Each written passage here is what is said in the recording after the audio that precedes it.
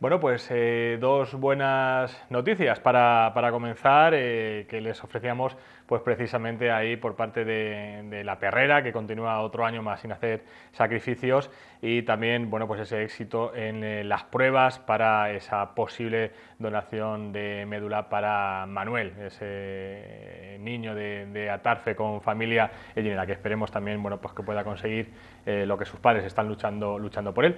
Y vamos a hablar también de otra de otra lucha otra lucha que llevan en este caso, eh, llevamos hablando tiempo de ella, es María, una, una niña de aquí, de Ginera, que bueno, pues, eh, se ha hecho una campaña a su favor, Ayuda a María, donde bueno, se presentó en rueda de prensa, se han hecho ya varias comparecencias para hablar precisamente de, quién es ella, de lo, que, de lo que sufre y de la lucha que tienen que hacer, eh, sobre todo en este caso, bueno, pues su madre por el día, el, día de el día a día de ella. Son varios colectivos ya los que han mostrado y particulares eh, que están dispuestos a, ayudar y una de esas actividades, la primera de hecho oficial que se presenta, será el próximo 29 de octubre en el Teatro Victoria un concierto benéfico de dos de las eh, bandas más representativas de nuestra ciudad, como son la Banda del Dolor y la Unión Musical Santa Cecilia. Así que tenemos tanto a la madre de María como a representantes de estas dos bandas para que nos hablen de este concierto benéfico. Presentamos en primer lugar a Laura Carrión, a la madre María. Laura. Hola, buenas noches.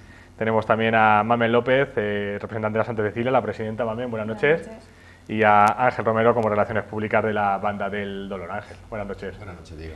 Bueno, estáis aquí los tres como representantes. No olvidamos también que AMEDE y la Asociación Teatro Vitoria también están detrás de esta organización. También hablaremos con ellos porque queda, queda mucho, pero yo creo que es importante en primer lugar em, pues hablar de esta, de esta iniciativa, ¿no? que quede mucho tiempo pues que se cierre ese día, que se sepa que se, que se va a hacer. Eh, Laura, si te parece, te lo preguntamos siempre, pero bueno, yo creo que mm, además lo vamos, te lo vamos a ir repitiendo porque ya yo creo que casi todos los ingenieros conocen a, a María, pero explícanos tú quién es María y por qué necesita ayuda. Pues María es mi hija, tiene siete años y bueno, eh, ella tiene atrofia muscular espinal. Eh, ya he hablado algunas veces de en qué consiste la enfermedad, por lo tanto no voy, a ahondar más en ella, hay mucha información por ahí. Y, y, bueno, pues ella, el problema que tiene es físico fundamentalmente, porque ella va a su cole normal, tiene muchos amigos, eh, tiene a su familia, pero bueno, eh, poca gente es consciente de que cuando por sorpresa te encuentras con, una, con un problema así, pues no solamente tienes la desgracia de, tenerlo, sino que además tienes que tener pues un buen riñón, como yo digo, ¿no? Hay que tener un colchón económico que en todos los casos no se tiene. A mí además el tener que, al ser una niña pequeña, bueno, siempre hemos estado las dos solas, pues encima me encuentro con el problema de que a la hora de ir a trabajar, cuando la tienes que atender, porque ella tiene una situación de gran dependencia, pues se hace especialmente difícil. Entonces, bueno, pues mm, los recursos e-, económicos no, no son, eh, pues eso, no son suficientes. No son suficientes para llevar, porque bueno, recordemos... Porque, eh, a ver, ella para el día a día, yo no voy a es una movilidad muy reducida la que lleva, necesita... Bueno, claro, ella el día a día no, no, o sea, no tiene problema. Yo, mm, o sea, para lo básico ella está cubierta. Pero, por ejemplo, pues cuando tiene que cambiar de silla, pues la silla que ella lleva, pues, eh, y es una silla de ruedas, eh, de lo más básico pues son unos 5.000 euros, porque necesita un montón de, control postural, porque ella su movilidad es prácticamente nula. Eh, ahora nos encontramos con el problema, que es una de las cosas que, para las que se hizo la campaña, de que, por ejemplo, yo para desplazarme con ella en un vehículo lo tengo súper complicado. Ella ya no entra en, un, en un sistema de retención infantil, y la silla no entra en cualquier maletero, entonces ahora mismo nos hemos quedado eh, que si yo tengo que viajar con ella, pues por ejemplo yo tengo citas en Albacete, o simplemente ella tiene derecho a hacer alguna salida, alguna excursión, no solamente moverse por aquí. Entonces, eh, pues para todas esas cosas, pues necesitamos ayuda. También está el tema de que no tiene, ahora mismo en casa yo todo lo hago a, pulso. O sea, ella no tiene, para bañarla no tiene, por ejemplo, una grúa ni ningún tipo de ayuda técnica y para desplazarla tampoco dificultades que hay que solventar, como dices tú, casi siempre con recursos económicos importantes. Eh, bueno, es una enfermedad eh, de, las denominadas raras, ¿no? Una enfermedad rara, con lo que los recursos también a nivel público son muy reducidos, porque bueno, pues eh, son casos muy específicos, pero sí mm. que es verdad que creo que estáis unidos, bueno, intentáis uniros, pero bueno, como decimos, son, es una enfermedad degenerativa, ¿verdad? Irreversible que necesita la atención. Ahora, si te parece, seguiremos hablando de ella, un poco de, ese día a día que ya mm. suponemos que es complicado mm. y, sí que es verdad que, en el caso de la solidaridad aquí, bueno, pues es, muy importante ¿no? que se haga que sea como, como se está haciendo. Y bueno, esto es un, esto es un comienzo, ¿no? Porque ahora hablaremos también de otras campañas que hay adelante, pero aquí, eh, Mamen, desde la Santa Cecilia, bueno, pues habéis querido inmiscuir en este, en este em, evento, ¿no? Un concierto benéfico que ya tiene fecha, 21 de octubre, como hemos dicho, junto con la Banda del Dolor. Háblanos un poco cómo fue esta... Este, esta pues iniciativa de meteros en, eh, para ayudar a María? Realmente fue Ángel, pero el otro Ángel, que vino a buscarme un día y me dijo, bueno, que tenían esta idea y la verdad es que ya hemos colaborado con Nono, por ejemplo, estuvimos en, hicimos uno de nuestros conciertos anuales, el año pasado lo dedicamos a Nono y bueno, creemos que es una iniciativa que merece mucho la pena luchar por ella y pues participamos encantados. Y bueno, yo lo propuse, todos dijeron que sí y aquí estamos, organizando esto. La Santa Cecilia, que bueno, pues es una parte solidaria de las que tenéis, ¿no? Porque ya sabemos que bueno, te, estáis viajando continuamente, Semana Santa, fiestas importantes aquí en Ellín, pero sí, sí, que reservéis siempre unos huecos a estas actividades benéficas. Sí, bueno, nosotros tenemos unos actos a lo largo del año y que ya están prácticamente cuadrados. A la hora de quien piensa en nosotros anualmente, ya piensa en varios, en varios actos y casi coincide con, con nuestro concierto de el Festival Nacional de Bandas que hacemos todos los años en octubre. Y bueno, Ángel vino a buscarme más que nada porque como esas fechas ya se conocen prácticamente, me dijo que para que no coincidiera hacerlo. Y bueno, pues tenemos el concierto el fin de semana de antes y al siguiente pues con María para colaborar. Bueno, pues eh, ahora hablaremos también un poco de qué tenéis preparado, pero ya que nombran por alusiones, aunque hablan del otro Ángel, pero bueno, Ángel Romero eh, también se queda todo en familia. Ángel, eh, estás aquí como Relaciones Públicas representando a la banda del dolor, otra de las grandes protagonistas que va a poner la música, una de las dos ayudando, sobre todo ese día la protagonista va a ser, va a ser María, ¿no? Pero bueno, pero la música también va a servir para unificar todo, toda esta ayuda, ¿no? Sí, claro que sí. Mami se estaba refiriendo a mi hijo Ángel Pedro, que es el que eh, que de alguna forma empezó a darle, a darle, valga la redundancia, forma a esta iniciativa ¿no? de, realizar el concierto. Hombre, yo sabía cuando me empezó a hablar del tema, sabía que por parte de la Unión Musical Santa Cecilia era, era por supuesto algo ya trillado el hecho de que iban a colaborar en esta, en esta actividad. ¿no? hay que tener en cuenta que la Unión Musical Santa Cecilia y la banda de Nuestra Señora del Dolor tienen una relación muy estrecha, ¿no?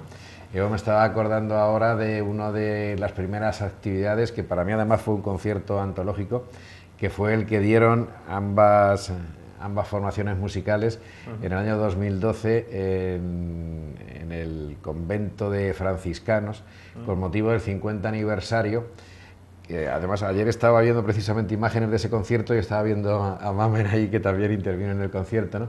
Con motivo de cumplirse el 50 aniversario de nuestro Padre Jesús de la Misericordia. ¿no?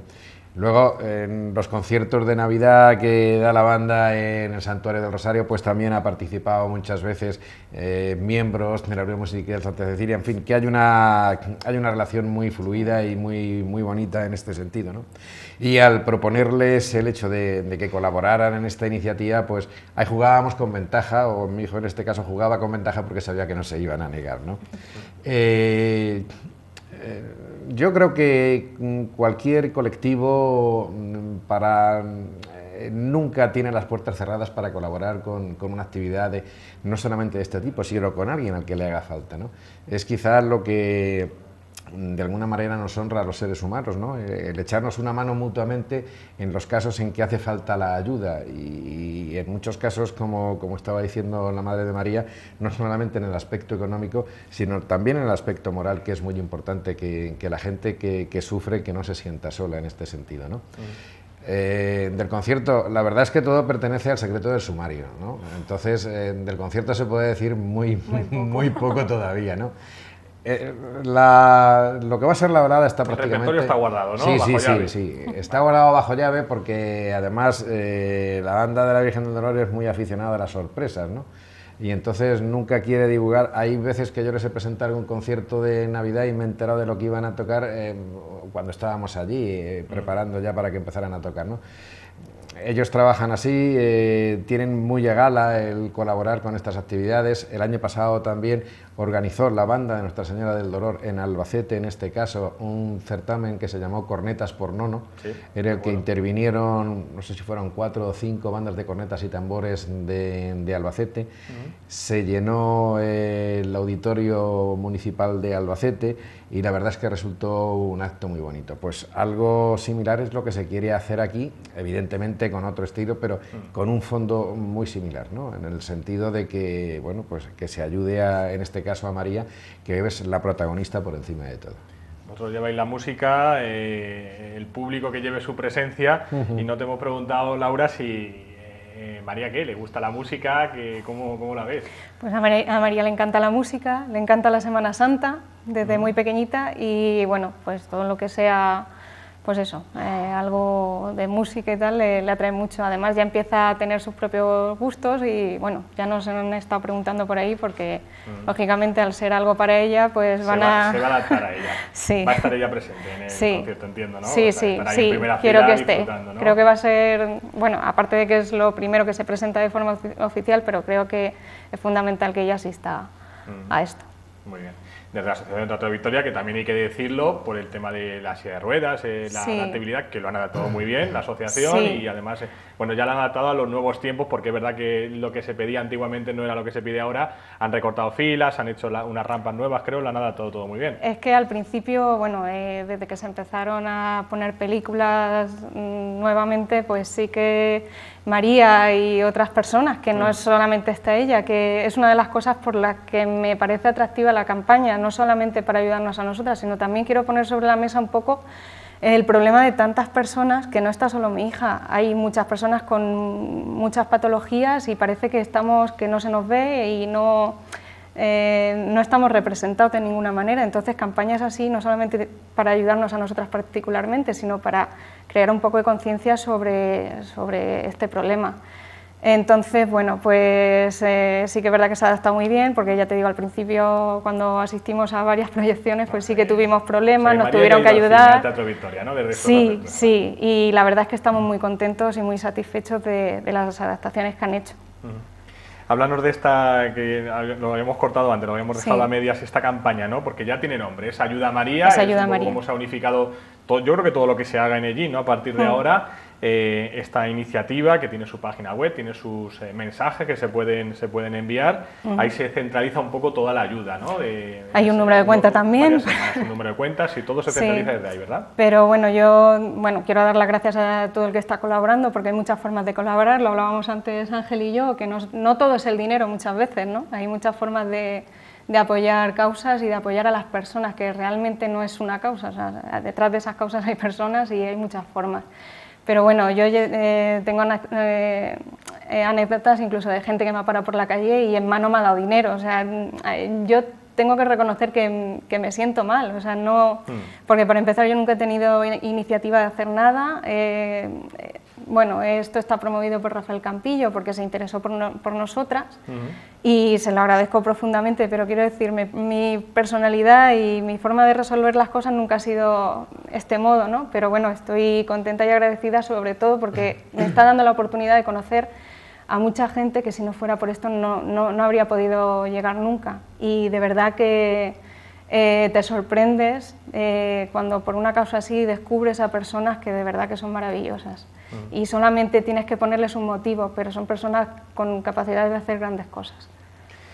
Eh, bueno, pues em, una, una, iniciativa importante, esperemos que sean muchas más las que, las que tengamos antes y después, porque bueno, eh, estamos hablando de que queda el verano, queda la feria, luego va a venir esto, queda todo el año, Navidad, que es una época también sabemos muy sentimental donde la gente mm. colabora, aunque bueno, siempre decimos que Yen es un pueblo muy solidario, aquí da igual la, da igual la época. Mamen, eh, nos decía Ángel que ellos tienen el repertorio bien guardado, no sé, por parte de Santa Cecilia si compartís lo mismo. Somos de la misma opinión que ellos, está guardado bajo llave. Lo siento.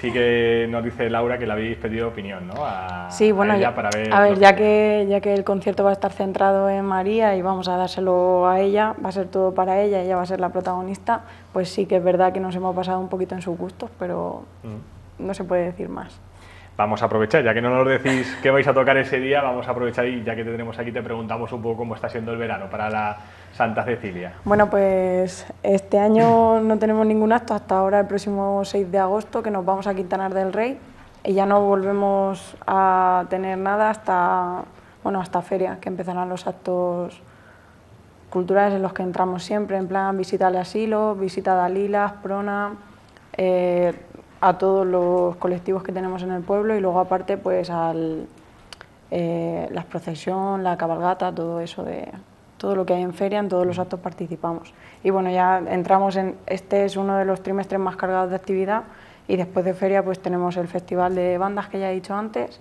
el concierto para María y luego ya entramos en nuestro mes que es noviembre con Santa Cecilia, que este año cumplimos 40 años y tenemos ahí cosas organizadas y luego ya Navidad y mm. ya está, no paramos, la verdad. Y terminar el año, que bueno, que además creo que habéis firmado también hace poco el convenio con el Ayuntamiento, sí, ¿no? firmamos hace, hace poquito, porque como ha habido tanto cambio y tantas cosas, ha sido un poco... Pero bueno, ya está todo, ya está todo bien en regla y ya está.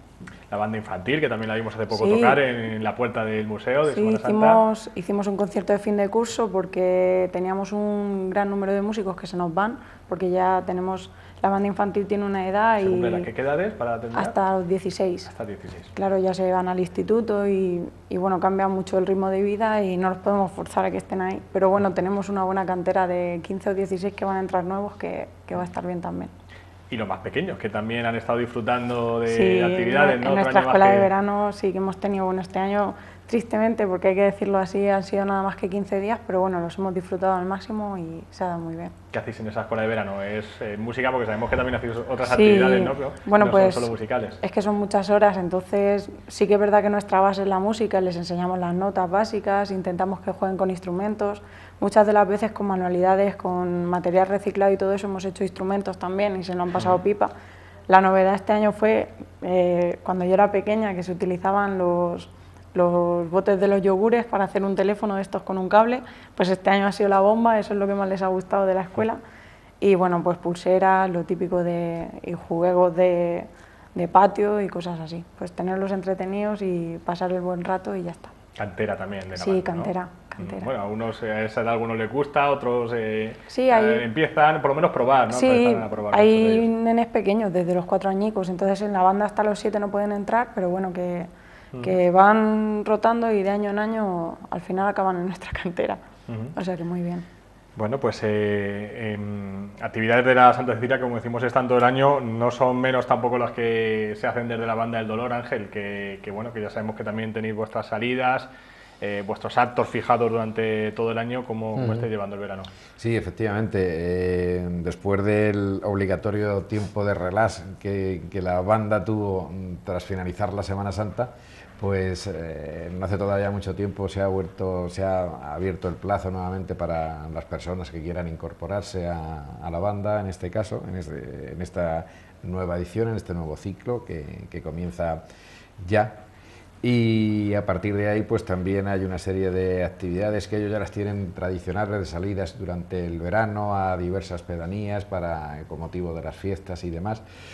Y luego ya pues a preparar ya en firme el concierto. Yo quería deciros que, eh, o sea, el concierto que tiene los dos protagonistas de la Unión Musical Santa Cecilia y de la banda de corretas y tambores Nuestra Señora del Dolor, va a haber una colaboración de, de, diferentes personas, o sea, que no se va a seguir solamente en lo que, se, en lo que respecta a, a las dos entidades musicales, ¿no? sino que va a haber también mucha gente que desde el primer momento que se ha contactado con ellos para que se sumaran a esto, pues eh, se han brindado total y absolutamente y, nos van a ofrecer también su arte ¿no? en ese sentido. ¿no? Y eh, este concierto, esta actividad va a servir un poco también para cerrar este ciclo que se abrió en su momento, que, que se fijó la fecha del día 30 de octubre, Quizás por eso se ha buscado también la fecha del día 29, ¿no? el 29 de octubre, para que fuera una de las últimas iniciativas que se llevaran a cabo. Hay que recordar que durante, todavía está abierto y yo desde aquí invito a la gente a que entre en esa página que antes se mencionaba de María, porque hay un, plazo todavía, insisto, abierto hasta el 30 de octubre con el fin de que sean muchas las personas que colaboren con los SMS y con cualquier oportunidad que tienen de colaborar. ¿no? Y sobre todo pues que asistan al, al concierto también todas aquellas personas que puedan porque se lo van a pasar muy bien y van a estar colaborando con una causa que ojalá y no hubiera necesidad de realizar estas actividades, ¿no? que todas fueran, eh, bueno, pues, eh, o darles otro giro, ¿no? pero mm. cuando ocurren es bueno saber que tienes colectivos que están ahí. Y en este caso, pues tanto la Unión Musical Santa Cecilia como la banda de cornetas y tambores no es la primera vez que lo hacen y estoy seguro de que no va a ser la última tampoco. Y además con muchísimo gusto. Pues seguro, seguro que, se llena el Teatro Victoria, que siempre lo decimos, ¿no? Que nos gusta que se llene nuestro, nuestro teatro, lo único que nos queda, pero qué mejor que se llene para actividades como estas. Laura, tú nos dices que no es cómodo ir eh, recibiendo dinero o estar... Eh, eh, no es cómodo, pero, pero sí que es verdad que, que la ayuda la necesita no por ti, sino por, por María, ¿no? porque es eh, mejorar su nivel de vida, ¿no? que, es lo, que es lo importante, porque ya que a otros niveles no se proporciona pues esa, esa, esa ayuda, sí que es verdad que el pueblo es el que, el que se vuelca. ¿no? Eh, nos dices que te ves un poco abrumada también por la gente, un poco todos los que estás conociendo que, que, están colaborando. Y recuérdanos esta página que también nos decía Ángel, ¿dónde, dónde podemos enviar esos mensajes? ¿Dónde podemos em, teclear para, para entrar y, y, colaborar? Bueno, pues la página es Ayuda María. Eh, los, mensajes son al 28099 y bueno, eh, el número de cuenta entero no me lo sé, pero bueno, cualquiera que hay página de Facebook, está la página web y Twitter, o sea que es fácil encontrarnos. Todo con ayuda a María. Es todo con ayuda a María, así de simple. Sí, así de simple. Y bueno, pues ahí tienen toda la información y por supuesto pues yo me pongo a disposición de quien sea para explicar lo que haga falta y en fin, para eso estamos. Y bueno, pues lo que, volviendo a ese tema, pues sí, pues eh, parece que no es ningún privilegio tener una situación así, todo lo contrario, pero bueno, pues eso, que ya que lo tienes, pues tiene, yo por supuesto que no es por mí, yo asumo lo que sea, pero, pero bueno, se trata de, mejorar la calidad de vida de María y, aprovechando que tienes una circunstancia así, pues también poner tu grano de arena y darle, pues eso, concienciar y darle visibilidad a un problema que, está. Ahí estamos viendo esa página, www.ayudamaria.es, ahí es eh, donde se centraliza toda, toda esa ayuda, toda colaboración, como, como dicen, es poca, porque bueno, pues todo lo que se pueda proporcionar a María, ¿no? A nivel de, una nueva silla, bueno, pues todo lo que son em, para mejorar su calidad de vida, ¿no? Aquí son varias cosas, varias fases que podríamos ir superando según el, nivel de colaboración. Yo tampoco quiero que la gente piense que lo que queremos es acomodar. No. Se trata simplemente de que hay ayudas técnicas que ella necesita, que son carísimas, hmm. y que yo, como madre soltera que soy, pues mm, me es difícil de asumir y a ella le suponen pues el, tener una infancia simplemente, o sea, porque ella está tan limitada físicamente que lo menos que puedes hacer por ella pues es intentar que viva experiencias, intentar que su vida sea cómoda y, que no se haga daño cuando la llevas de un sitio a otro en la casa, eh, cuando vas a bañarla, cuando vas... O sea, simplemente que ella viva lo mejor posible y dentro de lo que se puede y ya está. Y sobre todo, ojalá consiguiéramos muchísimo y, por supuesto mm, repartir. O sea, yo no quiero que solamente mi hija se beneficie de esto, sino quiero que se beneficie cuanta más gente mejor. Son muchos casos en España, bueno, hmm. muchos, relativos casos, porque bueno... Y no solamente tiene que ser esta enfermedad, sino... Mm, cualquiera de las que entran dentro de... Bueno, ahora las enfermedades, raras, o neuromusculares o cualquier niño que tenga una circunstancia que... Necesita un tratamiento específico, especial y, y, cualquier ayuda, como decimos, es poca. Sí. Em, me quedaba por preguntarte porque también, bueno, la colaboración en este caso de instituciones se reduce al, ser una enfermedad considerada rara, pero sí que es verdad que aquí, por ejemplo, acabas de conocer una buena noticia desde el ayuntamiento, por lo menos a nivel simbólico, ¿no? Que en feria María también va a estar presente, ¿no? Sí, eh, bueno, eh, Ramón García se puso en contacto con nosotros porque, bueno, eh, al saber del caso por medios de comunicación, pues lógicamente él se interesó y quería quería ayudarnos en la medida posible. Lógicamente no están las cosas para económicamente poder ayudarnos, pero sí, pues, eh, pues eso, a nivel de facilitarnos eh, la celebración de eventos, eh, a nivel burocrático, logístico, y luego, pues como la feria sí depende más de ellos, pues sí que habían pensado que igual que el año anterior se dedicó al Día de las Capacidades Diferentes, pues este año habían acordado dedicarle ese día a María y que las actividades que se realicen ese día vayan en beneficio de la campaña. Bueno, pues eh, si os parece, mm, o si te parece en este caso, bueno, pues a todos, os llamaremos a todos ya cuando se vaya acercando más el concierto, ya incluso en feria, os llamaremos también si estáis por ahí mm. que, que habléis, eh, hablamos un poco más, damos instrucciones más precisas a la gente, hablamos de cómo va la campaña, hablamos a lo mejor de posibles actos que, que hayan salido, a ti pues eh, eso, agradeceros a ti y a, a Mamen y a, Ángel que hayáis estado aquí, enhorabuena de verdad por, por la iniciativa. Y, Laura, pues que nos, nos vemos pronto, dale un abrazo muy fuerte a a, María también de, por parte del personal de esta casa. Muchas gracias, muchísimas gracias. Si me lo permites, eh, hablando un poco de compañeros que hasta hace poco hemos sido, ¿no? en este sentido, sí quiero daros las gracias a todos los medios de comunicación porque eh, una parte importante del éxito de, todas estas actividades las tenéis vosotros, ¿no? o, las hemos tenido nosotros, ¿no? Mm. porque esta profesión, aunque uno se jubile, parece que siempre te queda ¿no? en ese sentido. ¿no? Pero que es cierto ¿no? que hay que agradecer la verdad a los medios de comunicación que se están haciendo eco de, de la noticia y de los que esperamos que también se hagan eco de ella hasta que llegue la fecha del 29 de octubre y sobre todo animar a la gente a que acuda. No haya solamente eh, como fin primordial que es de ayudar a María, sino porque se lo van a pasar bien, de verdad que se lo van a pasar bien. Seguro. La verdad es que sí, pues lo dicho, muchas gracias. gracias. Esta campaña de Ayuda a María que sigue adelante, en este caso, bueno, pues queríamos presentarles también este, este concierto benéfico de la banda de cornetas y tambores del Dolor y de la Unión Musical Santa Cecilia, que estarán, recordemos, el 29 de octubre en el Teatro Victoria, eh, en el concierto Ayuda a María, colaboración que también se puede hacer desde la página web www.ayudamaria.es. Nosotros vamos a continuar con más invitados, con más temática aquí en Abierto por Vacaciones. Vamos unos minutos a publicidad y volvemos enseguida.